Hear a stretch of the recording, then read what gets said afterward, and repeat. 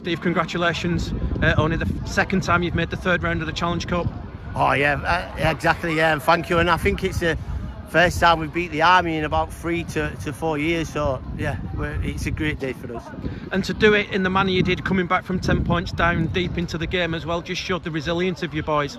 Oh yes, and and, and like you say, we just had that feeling.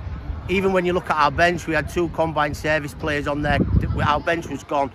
Uh, we had no replacements, but that feeling we've got within him, we, we knew it was coming. It was just when it was going to come, and luckily it did in uh, extra time. Uh, your front row are magnificent today. Oh, James Parry, uh, Jonathan Griffiths, they, they, go every day, uh, and they'll go for 80 if I let them.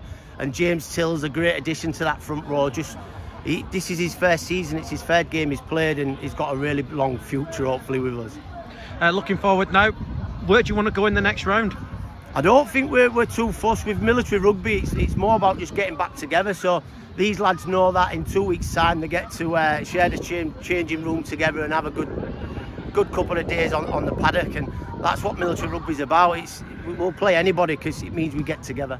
Can't see it being a quiet bus on the way back to Portsmouth tonight. No, I think I'll be going back in car. Uh, but no, the lads, it won't be a quiet one.